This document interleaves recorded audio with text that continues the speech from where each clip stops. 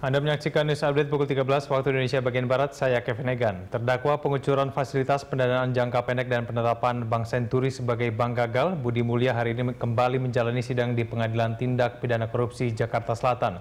Adapun agenda sidang hari ini yaitu putusan setelah majelis hakim dan untuk mengetahui jalannya persidangan Budi Mulia, kita bergabung bersama reporter Katrina Inandia. Ya Katrina, apa keputusan majelis hakim terkait dengan eksepsi dari terdakwa Budi Mulia? Ya, Egan, sidang pembacaan putusan selah terhadap terdakwa pemberian fasilitas pinjaman jangka pendek atau FPJP dan juga penetapan Bank Senturi sebagai bank gagal yang berdampak sistemik Budi Mulia baru saja selesai dilakukan pada pukul 11.30 siang tadi. Dan majelis hakim yang diketuai oleh Aviantara akhirnya menolak keseluruhan eksepsi dari Budi Mulia.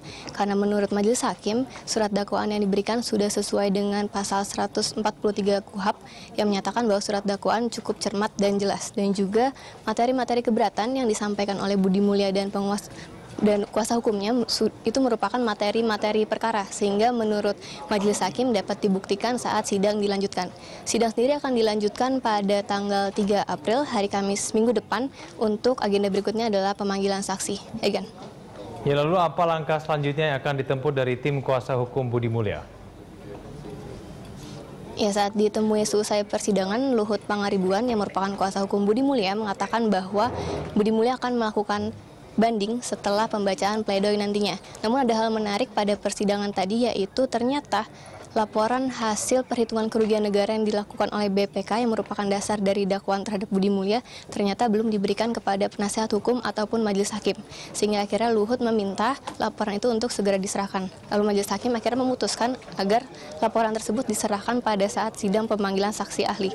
Dan ini saya juga mau menyampaikan bahwa di pengadilan tipikor akan segera diadakan sidang pembacaan tuntutan atau vonis terhadap tiga terdakwa kasus Pilkada Gunung Mas yaitu Hairunisa, Cornelis, Cornelis Nalau dan juga Hamid Bintih.